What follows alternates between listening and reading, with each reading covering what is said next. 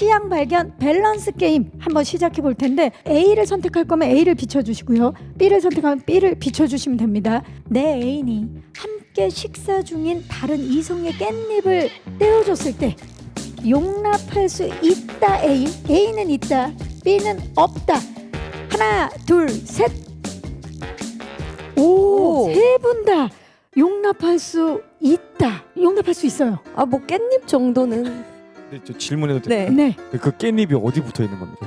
아 깻잎이 붙어 있는 게 아, 머리에 붙어 있는 깻잎이 아니고요.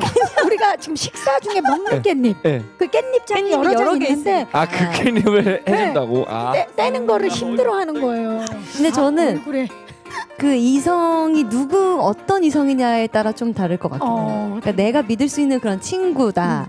그러면은 더 떼줘, 더 떼줘 이렇게 할것 연인 같은데. 동반이야. 동반 연인끼리 동반으로 먹는 거예요. 아 그럼 또 괜찮죠. 근데 상대 상대 뭐 깻잎 정도는 괜찮은데 뭐 깻잎 새우를 정도는 까준다거나 어. 어, 내 거는 안 떼주는데 상대 것만 떼어줬다.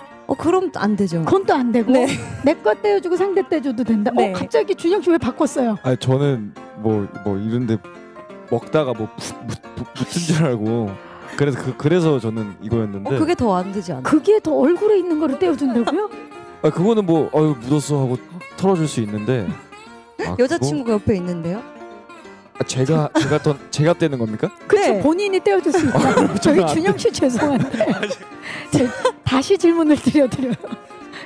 전 다른 의견인데. 네, 감독님. 저 감정적으로는 괜찮다고 생각하는데 저희가 코로나 시기에 어, 침이 묻은 그 젓가락으로 떼준다면 그 상대방의 기분도 좀 고려해봐야 그렇지 된다. 않을 것 같다. 맞습니다. 그럼 저희 모두 B로 바꾸겠습니다. 공중 보건을 좀 생각하자 갑자기? 이런 생각은 좀 듭니다. 자 공중 보건 지금 뭐 거리두기라든지 여러 상황을 생각할 때 예 지금은 떼어줘서는 안 된다. 그러나 깻, 깻잎만 떼어주는 젓가락이 따로 있다면 네, 네.